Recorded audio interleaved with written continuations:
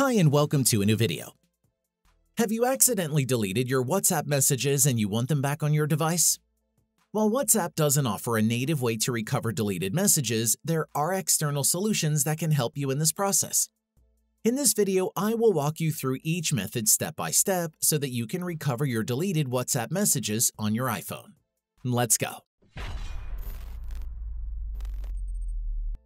Fortunately, you have three different options to recover your deleted WhatsApp messages, including restoring them from your iCloud and iTunes backup or from data leftovers on your device. Let's start with your iCloud backup and see if you've created one. Open WhatsApp and go to the Settings tab. Access the Chats menu and tap on Chat Backup. The date of your last backup determines which files are available for recovery. Be careful not to click Backup Now as this will overwrite the old backup. If your files get deleted after they've been backed up, you can easily restore them to your iPhone. To do this, delete and then reinstall WhatsApp. Once reinstalled, open WhatsApp and enter your registered number. If a backup is detected, the application will automatically prompt you to restore from it. The only disadvantage is that you will lose new files and chats created after the backup. To avoid this, you can use third-party software instead. I will show you how it works later in the video. On the other hand, if you have disabled iCloud Backup on your device, the next method is to restore it using iTunes.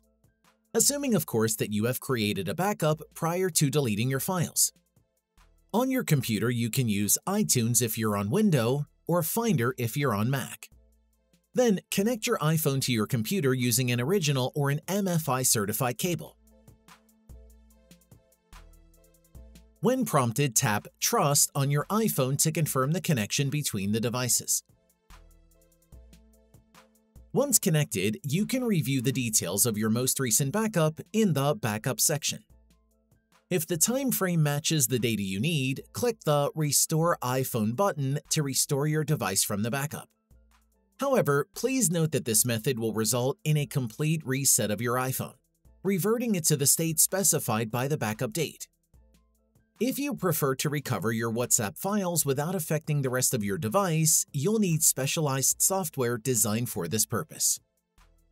As another alternative, simply using a third-party tool to recover your WhatsApp data. Personally, I recommend iMyFone ChatsBack. This software is specifically designed to recover WhatsApp data on your device, even if you don't have a backup. It conveniently scans your iPhone for leftover data and restores files directly from an iCloud or iTunes backup. For your reference, you can find the download link in the tag in the upper right corner or below in the description box. This tool is available for both Windows and Mac. Choose the appropriate OS before clicking the download button to try it out. Although the software has a paid version, scanning your iPhone for recoverable data is completely free. So you can check if the data you need is still on your iPhone without paying for the software yet. Upon downloading, follow the on-screen instructions to install ChatsBack on your computer. After installation, connect your iPhone to your computer using an original or an MFI certified cable. On your iPhone, enter your device passcode when prompted and click Trust to confirm the connection. ChatsBack provides four different options to recover your WhatsApp data. You can recover the leftover files from your device storage, backup stored in Google Drive and iTunes, or history records consisting of the combined data from iTunes or iCloud backup. Let's try the first option and click Start. Choose the specific type of WhatsApp service you use and confirm with OK. The software will then go through a series of scans. Keep the device connected and re-enter your device passcode when prompted. Take note that the scan time depends on the amount of recoverable data. Once the scan is complete, both WhatsApp chats and WhatsApp attachments are individually available for recovery. Check Select All to recover them all together. You can also tick each checkbox to selectively choose which chats or certain attachment file types you want to recover. After selecting, you have two available options. Click Recover to Device if you want to restore your data directly to your iPhone right away, or choose Recover to PC if you want to export the data to an external file. As I've mentioned earlier, the free trial version of ChatsBack is limited to scanning your data. A subscription is required to continue with the recovery process. If nothing helps, it can only mean that your files are already permanently deleted.